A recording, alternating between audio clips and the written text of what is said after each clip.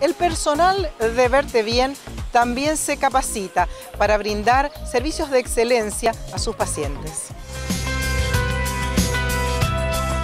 Y bueno, esta capacitación no solamente viene conmigo, este, que bueno, que soy la directora, que soy la médica, que, estoy a cargo de verte bien, sino también de todas las personas que me acompañan, del equipo que me acompaña. Bueno, estoy eh, siempre muy feliz y agradecida, tengo un equipo humano excelente eh, pero además de esto también es importante la capacitación. Eh, bueno, mi equipo ha viajado a Buenos Aires, empezaron una capacitación anual, un posgrado que tiene aval de la UBA, de la Universidad de Buenos Aires, de la AMA, que es la Asociación Médica Argentina, un máster en cosmiatría superior y bueno, prepararse como esteticistas, como asistentes en el centro de estética, este, como para realmente tener el, el aval universitario que es importante, la formación universitaria.